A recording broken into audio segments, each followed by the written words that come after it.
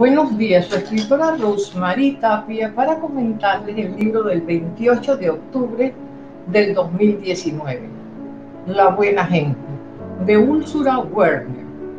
Conozcamos a la autora. Nació en Alemania y se crió en los Estados Unidos, reside en Washington, donde ha ejercido la profesión de abogada que comparte con la creación literaria.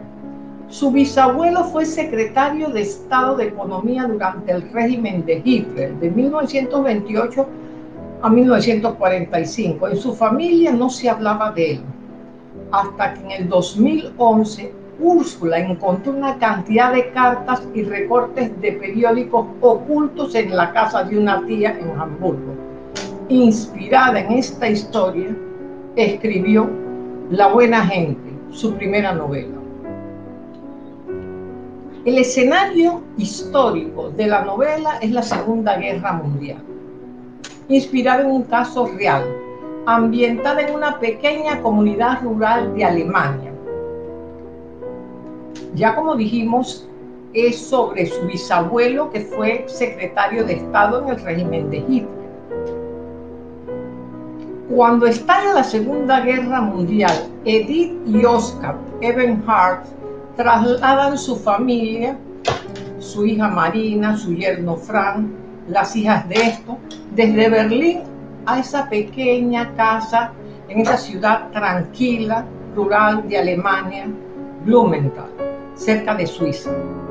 Oscar, un miembro del gabinete de Hitler, está ausente casi todo el tiempo y Frank combate en la guerra, de modo que las mujeres de la casa quedan solas llevando una, una vida tranquila en una población con muy pocas actividades. Sin embargo, la vida en Blumenthal no es tan idílica como parece, tampoco tranquila. Un joven capitán nazi aterroriza a los ciudadanos, a los que debía proteger. Los Vecinos se espían mutuamente.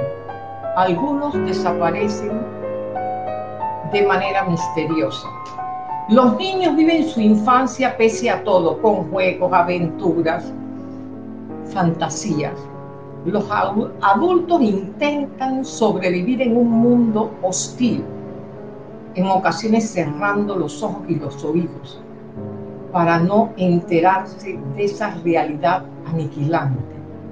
Muchas veces para no sufrir volteamos el rostro. Mientras tanto, algunos se juegan la vida para ayudar a otros.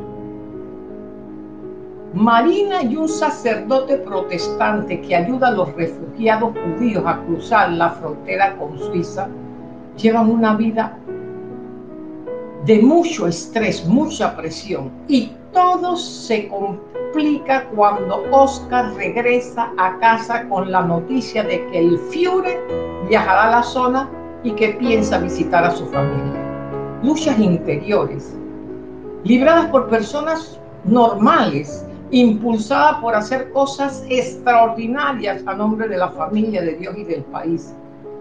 La novela presenta los dilemas morales de la familia, por ejemplo, Marina, colabora de manera clandestina para que los judíos salgan de Alemania.